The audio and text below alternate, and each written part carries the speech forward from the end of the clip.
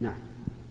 فضيلة الشيخ سائل يسأل ويقول هل يجوز لي أن أجزئ آه، القدر الواجب في زكاة الذهب مثلا؟ هل يجوز أن أجزئ مثلا أن أدفع مثلا 500 الآن وبعد شهرين مثلا 500 أخرى إذا حل الحول؟ وهل أيضا يقول يشترط أن لا بد من الحول؟ وهل إذا زاد الحول هل يعتبر آثم أو لا؟ تجزئة الزكاة إذا كانت تقديما فلا بأس.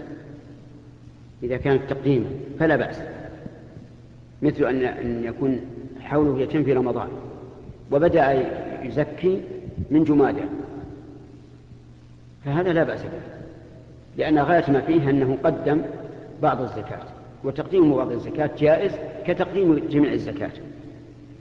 أما في التأخير فلا يجوز يعني لا يجوز إذا حلت الزكاة أن يؤخر بعضها ويقسطه. لأن الزكاة يجب دفعها على الفور. مرة واحدة إلا أنه يعفى عن عشرة أيام شهر نصف شهر نصف شهر. وكذلك لو فرضنا أنه مثلا آه، أن الفقراء عنده قليلون. ولو دفع إليهم جميعا أفسدوها.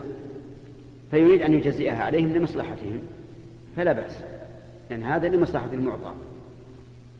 نعم.